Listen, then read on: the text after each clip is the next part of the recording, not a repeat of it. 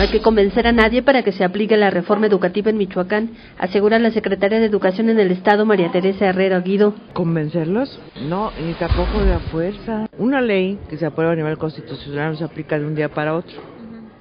Todo esto ya es un proceso. Se ha iniciado el proceso.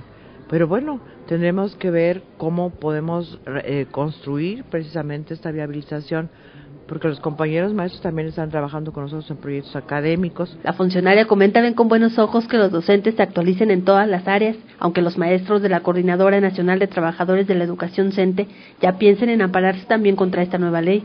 Yo creo que el interés mutuo es la educación, con una ideología tal vez diferente, con un procedimiento diferente, pero es la educación.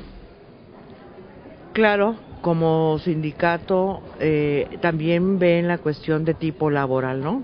Y los dos sindicatos en ese aspecto están en contra de la ley porque piensan que puedan reubicar al personal cuando no tengan las evaluaciones de calidad que puedan este, sustentar el servicio. Considera que el movimiento sindical en contra de la reforma educativa tiene un propósito político